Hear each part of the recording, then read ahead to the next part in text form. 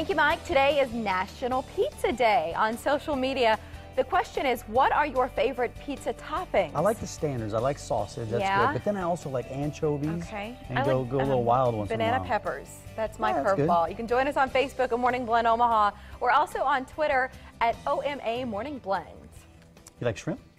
I like Never shrimp had, on pizza. Uh, Put like shrimp a on white pizza. with a white spinach. yeah, I've had that. White shrimp pizza. I've had mashed potatoes on pizza. That was good. Yeah, I like the Thai stuff. The Thai's getting really good. She, at this point, our guest is saying, "Can we get on with the I know. show?" Let's go. Okay, so the first Heartland Latino Leadership Conference happened 15 years ago. That's right. Well, a lot has changed in that time. This event continues to be valuable not just to the Latino community, but to the region as a whole. Rosenda Ovalle is the president of Heartland Latino Leadership. Good morning. Welcome Good back. morning. Yeah, good you weren't the only you one rolling your eyes over. Our, our crew members were rolling their eyes But about while our we're talking pizza about talk. pizza, do you have any? And you've got four kiddos. Yes, so I, any- I was going to say pizza's actually a favorite in our house. In Uh-huh. our home, we make our own at home too. Oh, that's so, great. but we we stick to the basics. Unfortunately, the the pepperoni and the sausage well, are what when the you've kids got like. So a family of six, yeah, You gotta what's universal everybody. works. A lot of Right, times it's right. just cheese at our house. All right, uh, let's get to this conference. Who's speaking? What's the deal with this? Okay, so the 15th, um, 15th year in existence is a conference. We are actually going to have Consuelo Kickbusch Castillo is one of the, the speakers. She is known for being a top ranked um, person in the combat of the U.S. Army. She was the top leading Hispanic. We also have Isabel Flores. You'll see there on the screen. She's the second one. She's known for passing the bar exam without actually having to attend law school. So those are our two main Oh, key you're spoke- kidding. keynote speakers. And then what about the gentleman? And then the gentleman we have, um, the last person, Joe Gerstandt, he is actually going to come in and speak on diversity and how to bring that into your workplace and also in your personal life. And then the third gentleman we have there is um, Mr. On- Ono- Hinojosa Mier, and he is from the National Hispanic Latino Corporate Council. So he's coming in to speak as a panelist, and he's also going to do a separate session on his own, speaking about the history Latinos have in the Midwest. Yeah, what's the purpose of this con- conference? Is it, and I guess is it just for people of Latino descent? Is it? It's uh, what do you actually open up to the public. Um, we welcome everybody. We encourage everyone to attend. Um, it is for anybody who has any type of interest in the Latino community. Mm-hmm. Um, any, we have partners that partner with us. We, if you want to know diversity, how to recruit Latinos, if you're Mm-hmm. looking for bilingual employees, which of course nowadays is very um, a need that is very well sought after.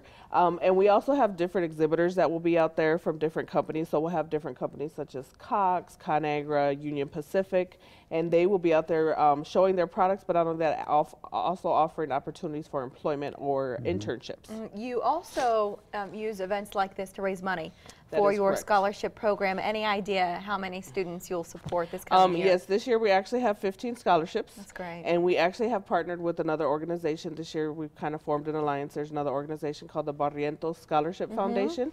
And so we have partnered with them. We'll be giving out 15 scholarships. Um, three of those scholarships will actually be full ride scholarships to universities a for the four that years. makes. That for is the incredible. students. And a lot of what you do, you you need these community partners. So you're also going to present community awards. That is in- in correct. certain categories. What are Yes, we have um, several different categories that we reach out to in the awards, which is government, health, arts and humanities, Latino Partner of the, of the Year.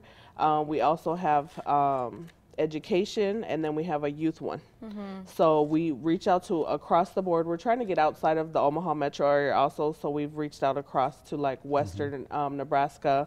Um, into like Grand Island, Iowa, things like that, to see if we can get some other people involved also. Because of course, great things do happen here in the metro, but we also like to showcase people outside of the metro. And you know, those communities could benefit from diversity Definitely. just as ours can. Should our viewers register, or how does this work if they're new to the conference? Um, if you are new to the conference, we do have um, a free event on Monday, so it's kind of a good way to come in and check things out. Mm-hmm. On Monday afternoon, we're having our welcome reception. It's going to be at the Guacamaya restaurant that's located down on 33rd Street in South Omaha.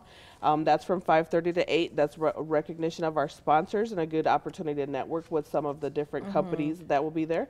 And then on that Tuesday is the actual conference from 7 a.m. until 6 p.m. And we will um, we have our website, which is heartlandlatino.org. That is going to be out there.